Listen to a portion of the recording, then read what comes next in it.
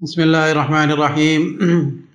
میں حکیم حافظ محمد عبد الرحمن خان، دوا خانہ حکیم اجمل خان کی طرف سے حاضر ہوں۔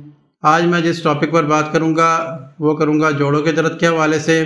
جوڑوں کے درد کا ایک تو اس کے اقسام بتاؤں گا کہ کون کون سی اس کی اقسام ہوتی ہے اس کے اسباب کہ کس کس وجہ سے ہوتا ہے، اس کی علامات، کیا کیا علامات ہوتی ہیں۔ اور آخر میں میں انشاءاللہ جڑی بوٹیوں سے اور مرکبات سے اس کا علاج بھی بتاؤں گا۔ اور ذاتی جو نسخہ جات ہے، جو پیٹنٹ ہے، تجربہ شدہ ہے، وہ بھی میں آپ کے سامنے ڈسکس کروں گا انشاءاللہ۔ آپ یہ اس ویڈیو کو شروع سے لے کے آخر تک ضرور دیکھیں۔ وجہ المفاصل یعنی جوڑوں کا درد، یہ کئی طریقوں کا ہوتا ہے۔ اس میں سب سے پہلے وجہ المفاصل یعنی بڑے جوڑوں کا درد۔ وجہ الرقبہ، جوڑوں کا درد۔ وجہ الورق، سرین کا درد۔ نقرس پاؤں کے انگوٹھے اور رخنوں کا درد یا چھوٹے در، جوڑوں کا درد، اس کو کہتے ہیں ارق النساء، یہ بھی لنگڑی کا درد کہلاتا ہے۔ اب اس کی تفصیل کی طرف چلتے ہیں۔ چونکہ یہ تمام جوڑ جو ہے ملتے جلتے آپس میں، ان کی علامات آپس میں ملتی جلتی ہے اس لیے ان کا علاج بھی ساتھ ساتھ میں بتاتا جاؤں گا۔ ارک النساء جو ہے، یہ سرین سے شروع ہو کر نیچے ٹانگ کی طرف آتا ہے۔ بعض دفعہ آدھی ٹانگ میں درد ہوتا ہے اور بعض اوقات پوری ٹانگ کے اوپر کے اندر یہ درد ہوتا ہے۔ اور بعض اوقات ایسا بھی ہوتا ہے کہ آدمی سیدھا کھڑا نہیں ہو سکتا، بہت مشکل سے کھڑا ہوتا ہے اور اپنی ٹانگ کو پکڑ کر چلتا ہے۔ یعنی کہ اس میں اتنا شدید درد ہوتا ہے کہ انسان جو ہے بہت تکلیف محسوس کرتا ہے۔ وجہ المفاصل، یہ جوڑوں کا درد ہے، اس میں گھٹنے آ جاتے ہیں، کونیوں کا درد آ جاتا ہے، یہ شولڈر کا درد آ جاتا ہے، یہ درد جو ہے، یہ وجہ المفاصل کہلاتے ہیں۔ اس کے بعد سرین کا درد جو ہے، وہ پیچھے کی طرف ہوتا ہے، یہ بھی درد بہت شدید ہوتا ہے۔ یہ کیوں ہوتا ہے؟ اس کے اسباب کیا ہوتے ہیں؟ وجہ المفاصل کے اسباب جو ہے، سردی کا لگنا یا ٹھنڈا کا لگنا بعض اوقات جوانی میں کوئی چوٹ وغیرہ لگ جاتی ہے، گھٹنوں کے اوپر یا کونی کے اوپر، تو سردیوں کے موسم میں یہ درد جو ہے زیادہ محسوس ہوتا ہے۔ بعض اوقات انسان باہر سے چل کر آتا ہے یا کھیل کر آتا ہے، ورزش کر کے آتا ہے اور آتے کے ساتھ ہی ٹھنڈے پانی سے نہا لیتا ہے۔ اس کی وجہ سے بھی یہ درد ہو جاتا ہے۔ بعض اوقات اے سی سے نکل کر انسان باہر گرمی کے اندر آتا ہے۔ گرمی، سردی کی وجہ سے بھی یہ درد ہو سکتا ہے۔ اس کے علاوہ بارش میں بھیگنے سے اور ٹھنڈ لگنے سے بھی یہ درد ہو سکتا ہے۔ کثرت ریاح کی وجہ سے یہ درد ہوتا ہے۔ کثرت بلغم کی وجہ سے بھی درد یہ ہو سکتا ہے۔ کثرت سفرا اور کثرت سودا کی وجہ سے بھی یہ درد ہو سکتا ہے۔ یہ کثرت سفرا، کثرت سودا اور کثرت بلغم یہ ہمارے جسم کے اندر یہ خلتے ہیں۔ جو ہمارے جسم کے اندر جو ہے یہ چار قسم کی خلطیں ہوتی ہیں سفرا سودا، بلغم اور خون۔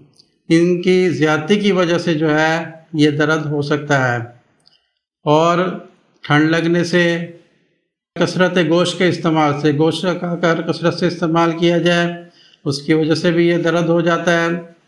اور ٹھنڈ لگنے سے یا بارش سے، بیکنے سے بھی یہ درد ہو جاتا ہے۔ اب یہ اس کی علامات کی طرف آتے ہیں۔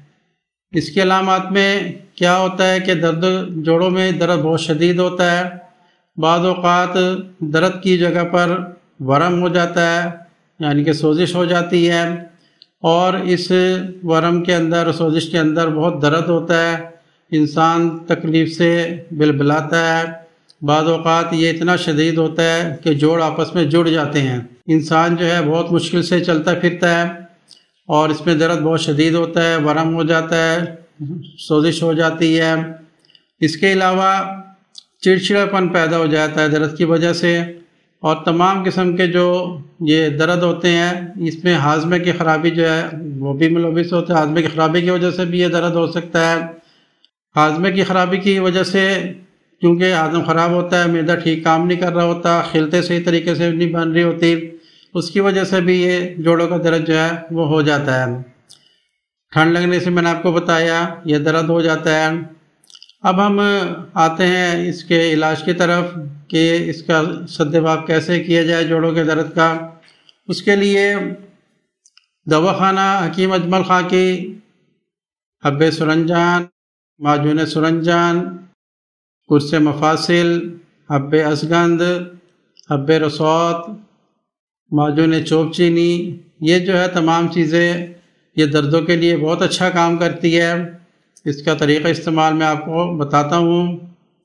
صبح کو معجون سرنجان آدھا چمچ اور ارک چوپ چینی، آدھا چمچ اور معجون چوپ چینی، آدھا چمچ۔ یعنی کہ یہ دو قسم کی معجونیں ہو گئی۔ معجون سرنجان معجون چوپ چینی اور ارک چوپ چینی۔ معجون جو ہے وہ دونوں آدھا آدھا چمچ صبح نہار منہ اور شام کو پانچ بجے اور ارک چوپ چینی کا آدھا کپ صبح نہار منہ اور شام پانچ بجے یہ استعمال کریں۔ بعض اوقات یورک ایسڈ زیادہ بن رہا ہوتا ہے، اس کو خراج نہیں ہو رہا ہوتا۔ اس کی وجہ سے بھی جو ہے یہ درد ہوتا ہے۔ اس کے لیے بھی یہ جو نسخہ میں نے آپ کو بتایا، یہ بہت فائدہ مند ہے۔ اس کے علاوہ رات کو حب سرنجان اور قرص مفاصل۔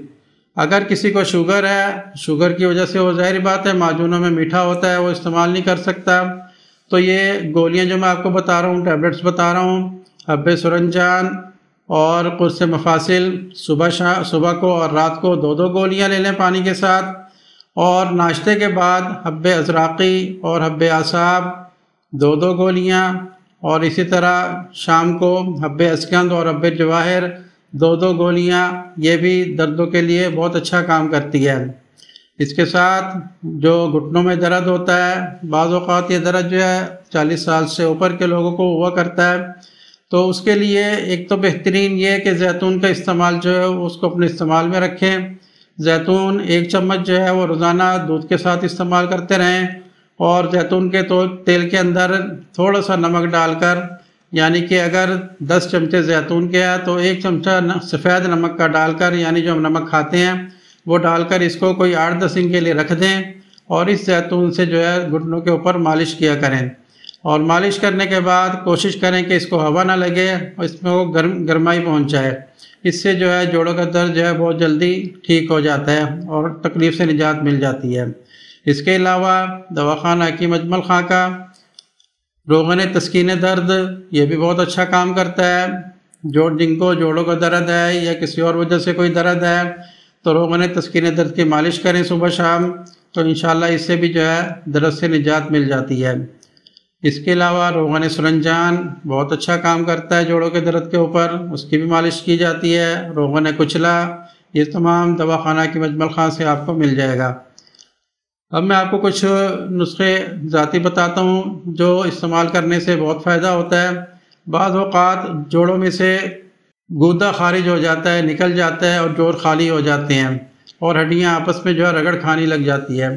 اس گودے کو لانے کے لیے کیا کرنا ہے کہ السی کے بیج اور میتھی دانہ۔ دوبارہ میں بتاتا ہوں، السی کے بیج اور میتھی دانہ۔ یہ دونوں ہم وزن لے لیں، اس کا پاؤڈر کر لیں۔ صبح شام آدھا آدھا چمچ جو اپنے پانی سے یا دودھ سے اس کو استعمال کرنا ہے۔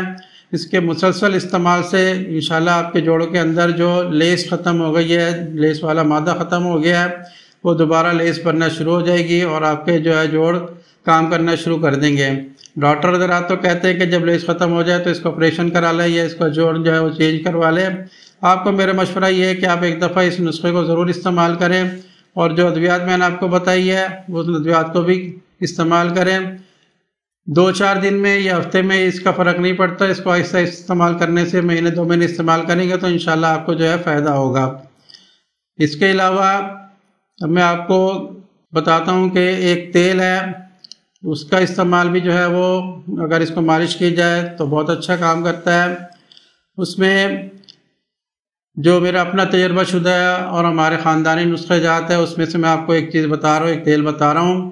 جن لوگوں کے جوڑ جڑ گئے ہوں اور وہ چلنے پھرنے کے قابل نہ رہے ہو تو اس کو استعمال کرائیں، انشاءاللہ اس سے جو ہے جڑے ہوئے جوڑ بھی جو ہے وہ کھل جاتے ہیں۔ اس کے لیے آکاش بیل کا پانی۔ آکاش بیل کیا چیز ہے؟ درختوں کے اوپر اور جھاڑی کے اوپر پیلی سی جو ہے وہ لمبی لمبی ٹہنیاں لگی ہوتی ہے اس کو اتار لیں۔ اس کو اکاس بیل کہتے ہیں، اس کا پانی لے لیں، ایک پاؤ، اور ایک پاؤ روغن تل یا روغن کنجد۔ تلوں کا تیل جو ہے وہ ایک پاؤ، اور اکاس بیل کا پانی ایک پاؤ۔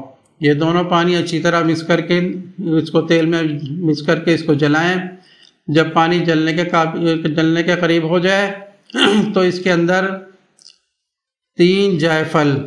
جائفل جو ہے وہ آپ نے ثابت ڈالنے ہیں، اس کو پیس کوٹنا نہیں ہے، نہ اس کو زدرہ کرنا ہے، ثابت جائفل ڈالنے ہیں اور تین لونگے ڈالنی ہیں۔ دوبارہ میں بتاتا ہوں اکاس بیل کا تیل ایک پاؤ، تلوں کا تیل ایک پاؤ۔ تلوں کے تیل کے اندر اکاس بیل کا پانی ڈال کر اس کو چولہے پر رکھ کر اس کو پکائیں ہلکی آنچ پہ۔ جب یہ پانی خشک ہونے کے قریب آ جائے اور صرف تیل رہ جائے تو اس کے اندر تین عدد جائفل اور تین عدد لونگے ڈال دیں۔ ثابت ڈالنی ہے، اس کو پیسنا نہیں ہے۔